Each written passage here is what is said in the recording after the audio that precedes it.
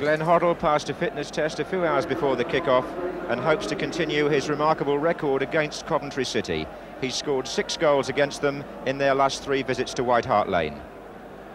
There's one change in the Spurs lineup, and that's at number two, where Chris Hughton, who has been out with injury since Boxing Day, returns at the expense of Don McAllister. Gary Brooke, who would have played had Hoddle been unfit, is named as substitute. And don't be confused by the numbering in defence. The number four, Graham Roberts, is the left back. And Coventry, by coincidence, have a left back with the same name. He's number three, Brian Roberts. Coventry make two changes after that League Cup defeat at West Ham. At number seven, 19-year-old Steve Jacobs replaces Peter Bodak. And at number 10, Tommy English comes in for Mark Hateley, who's the substitute. Keith Burkinshaw, the Spurs manager, on his way out.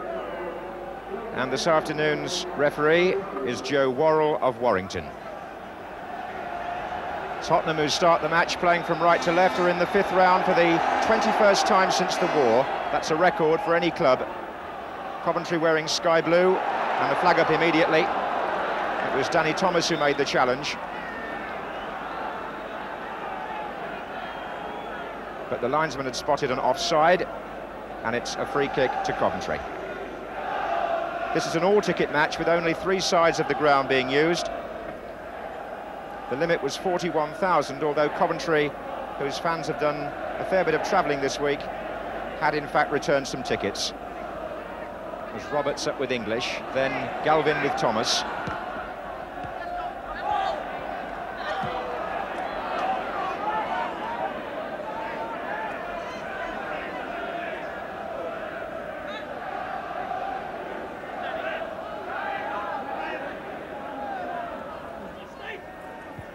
Looking for Thompson. Lost his place quite early in the season, Tommy English, but got a chance to re-establish himself today.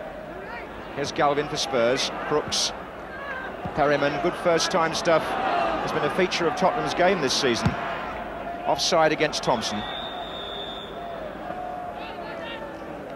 Who's the top scorer for Coventry with 11 goals.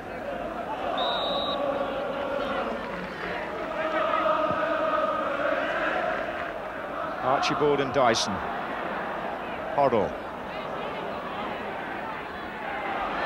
Is Daly missing out. Hoddle again, he's found Crooks.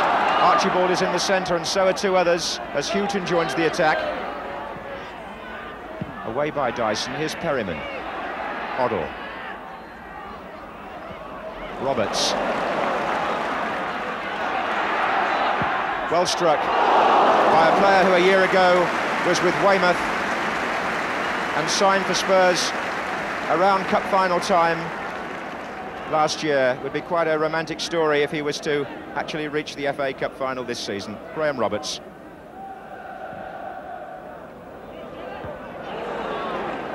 Here's Jacobs. And the Hughton brought down by Steve Hunt rather heavily. Words exchanged. Referee Joe Worrell quickly on the scene wanting a word with Hunt, presumably.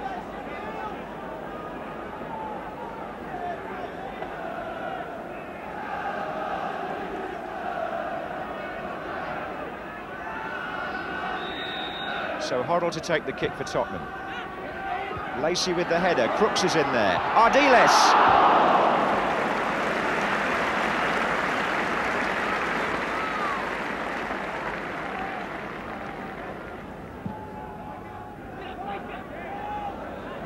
It's Lacey.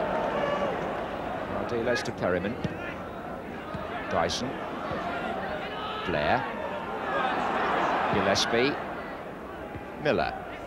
Now Blair again. Steve Hunt for Coventry. Good skill, and I think uh, Tottenham felt English was offside, but again, the linesman's flag stayed down.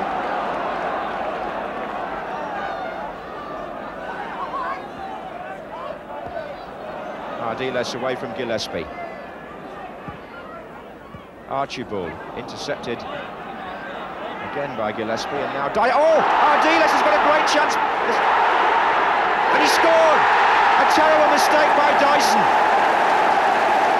Oh a dreadful error by Coventry. And Ossie Ardiles with Dyson hanging his head took advantage. Coventry appeared to have averted the danger, but Dyson's back pass went straight to Ardiles, who went round the goalkeeper and put the ball in the net. Really bad moment for Paul Dyson, and Ossie Ardiles scores his sixth goal of the season. And it's been his best year in terms of goal scoring since he came to White Hart Lane.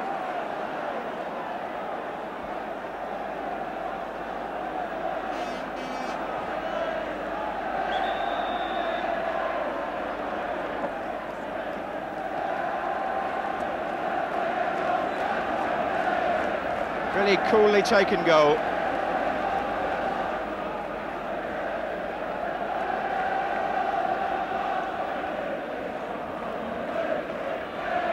Dyson now in the attack, Thompson's on the far post.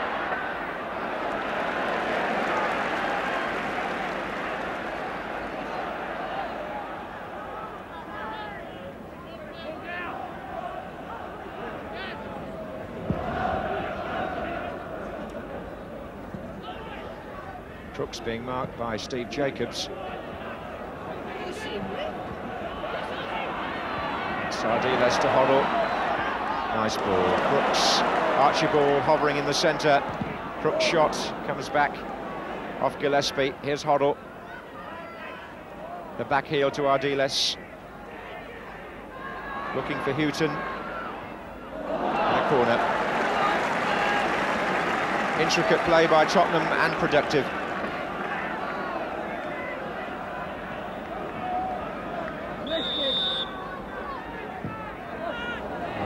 Was wasted by Glenn Hoddle, but here's Galvin from a bad clearance by Daly.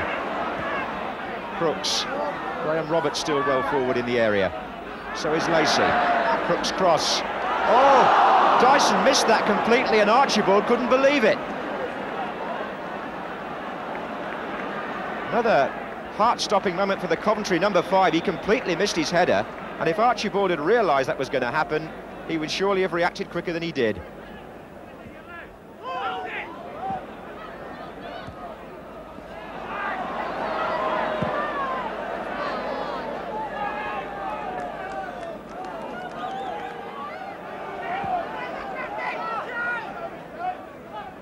Archibald.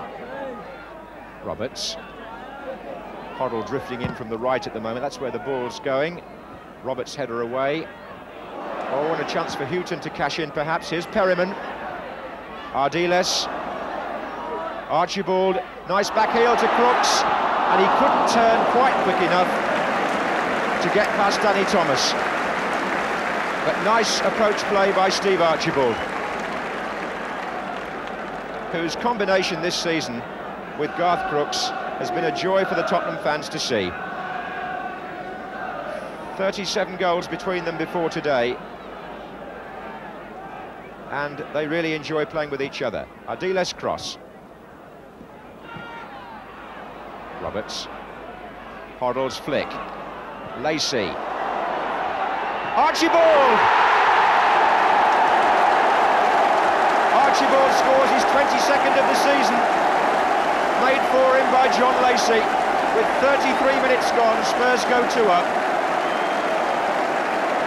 The approach seemed almost harmless, but Coventry just weren't concentrating. Lacey knocked the ball forward, and Archibald, with Sealey on his line, volleyed past him. Archibald got two against Coventry in the league match earlier this season. He makes it 2-0 in this fifth round FA Cup tie. And that, by the way, is his 19th goal in the last 27 games. Tremendous record.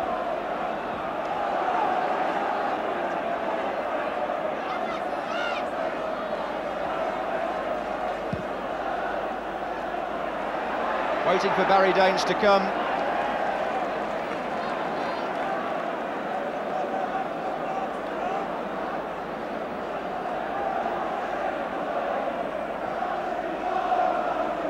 So Coventry, so disappointed in the League Cup in midweek, now find themselves two goals down in the FA Cup just a few days later. And for a team whose average age is only 21, That's got to be rather disheartening. And there is confidence sapping away here. Ardiles. And it's Crooks. Crooks again. Is it going in? No. Well, Dyson's first mistake. Ardiles, Crooks. A save by Sealey. Crooks from the rebound. Trickling wide. But it could so easily have been 3-0.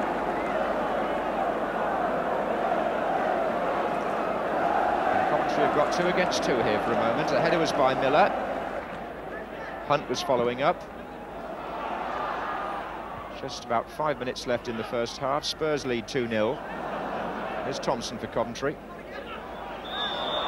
that tackle by Graham Roberts is penalised.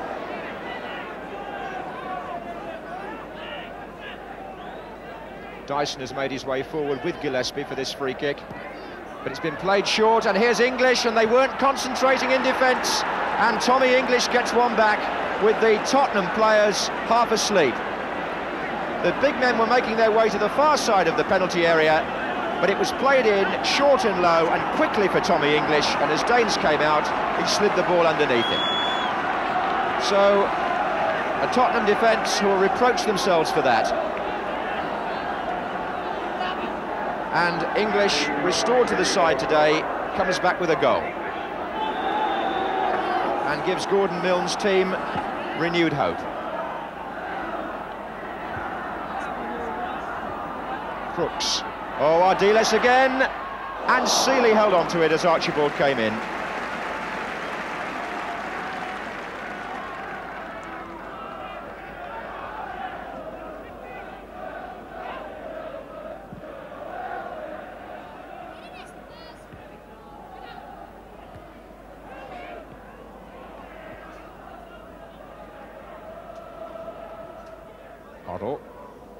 Crooks. Again. Archibald.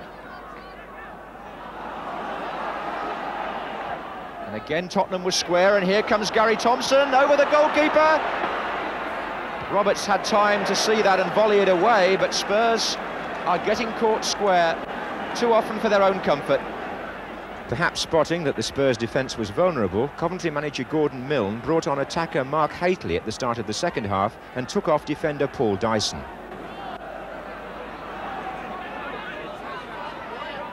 This is Roberts. That's a foul by Chris Hughton.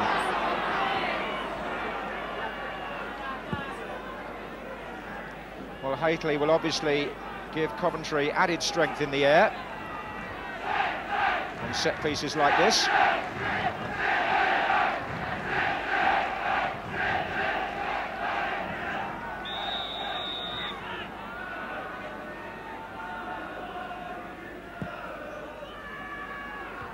That was Hateley. Just proving the point. Well, his father was always noted for his tremendous skill, jumping and heading, and his son is built in very much the same mould.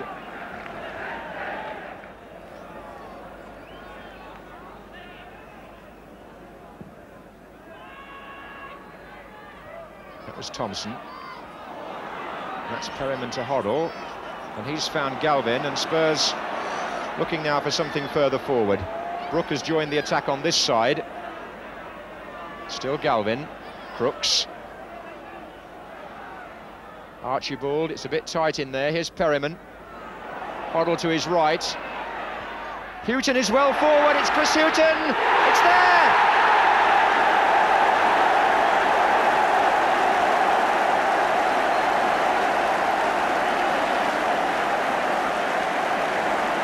The experience of Steve Perryman played a part in the move.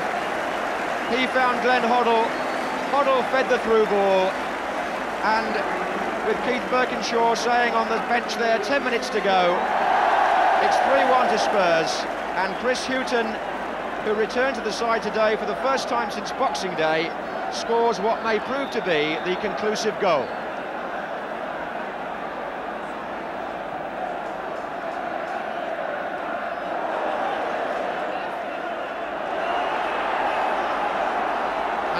Tottenham again. Hoddle, outside him is Gary Brooke, on the far post is Crooks.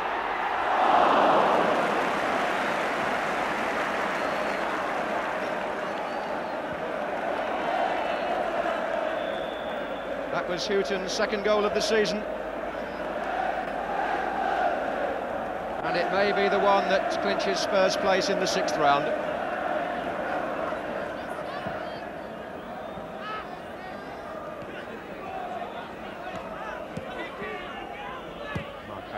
Pushing it back. Here's uh, Hughton. The Spurs have got a man over in this attack if they play it right. Hoddle's on the right wing. There are five the other way. And it's still Hoddle. And it's still Hoddle. And everything was right, apart from a rather feeble shot by his standards.